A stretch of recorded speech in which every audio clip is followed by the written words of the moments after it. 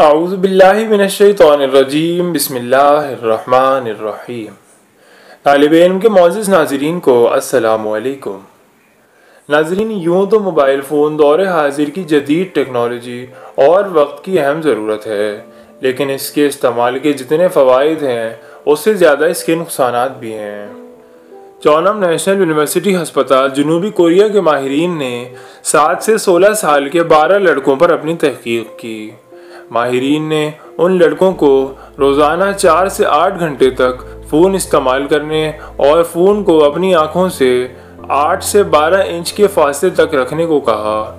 دو ماہ بعد ان میں سے نو لڑکوں میں بہنگے پن کی علامت ظاہر ہونا شروع ہو گئی تھیں۔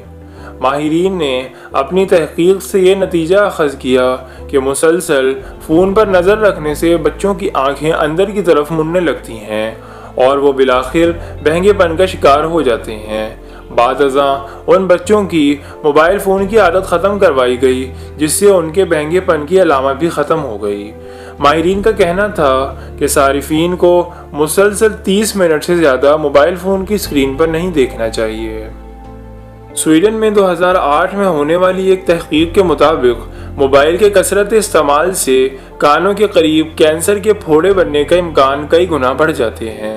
اسی طرح رائل سوسائٹی آف لندن نے ایک پیپر شائع کیا ہے، جس کے مطابق وہ بچے جو بیس سال کی عمر سے پہلے موبائل فون کا استعمال کرنا شروع کر دیتے ہیں، ان میں انتیس سال کی عمر تک دماغ کے کینسر کے امکان ان لوگوں سے پانچ گنا بڑھ جاتے ہیں، جنہوں نے موبائل کا استعمال بچپن میں نہیں کیا۔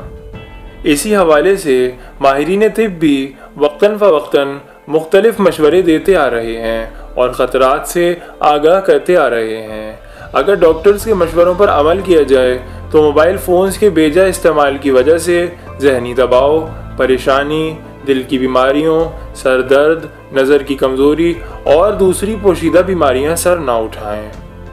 ایک اور رپورٹ میں نیشنل کینسر انسٹیٹیوٹ کی اسٹڈی کے مطابق انہوں نے چند لوگوں پر اس بات کی تحقیق کی۔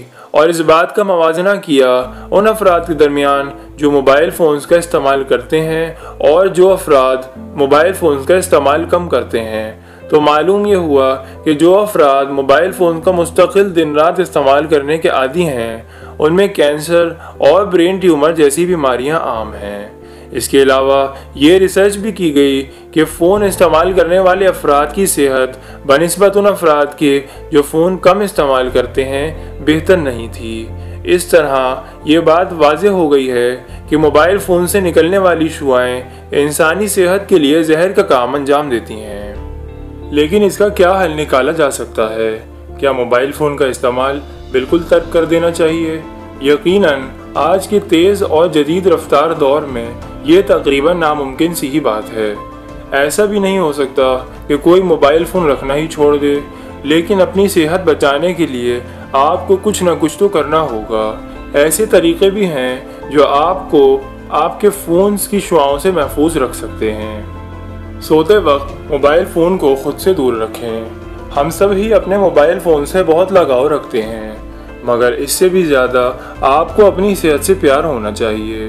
اس کے لیے ضروری ہے کہ سوتے وقت موبائل اپنے بستر سے دور کسی دوسری جگہ پر رکھیں۔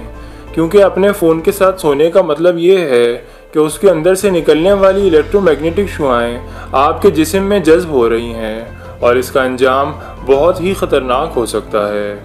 چھوٹے بچوں کو فون سے دور رکھیں۔ ایک وہ وقت تھا کہ جب بچے گھر سے باہر کھیل کود کر اپنی سرگرمیاں بڑھاتے تھے۔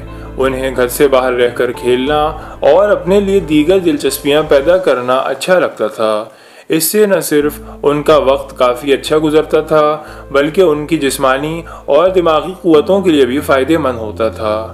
لیکن آج کے بچے پیدا ہوتے ہی اسمارٹ فون اور جدید ٹیکنالوجی کی دنیا میں جانا پسند کرتے ہیں۔ اس طرح بچوں کی معصومیت ان کے بچپن ہی سے رخصت ہو جاتی ہے۔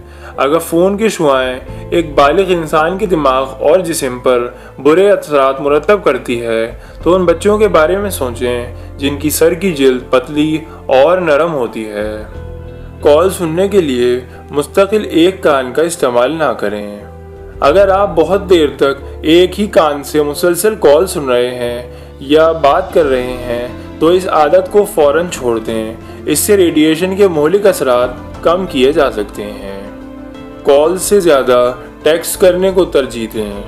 اگر آپ یہ سمجھتے ہیں کہ کمیونیکیشن کا ذریعہ صرف کال سننے اور کرنے کی حد تک ہے، تو یہ خیال غلط ہے کہ موبائل فونز کا بہتر استعمال کال سے زیادہ ٹیکس کرنے یعنی پیغامات کی ترسیل میں ہے۔ ناظرین، یہ تھے موبائل فون کے کثرت استعمال کے نقصانات اور چند احتیاطی تدابیریں۔ اس ویڈیو کے باقی دو حصے انشاءاللہ بہت جلد اپلوڈ کیے جائیں گے۔ اگر ویڈیو پسند آئی ہو تو اسے لائک، کمنٹ اور شیئر ضرور کیجیے گا۔ انشاءاللہ ملتے ہیں آپ سے اگلی ویڈیو میں۔ اپنا بہت سا خیال رکھیے گا۔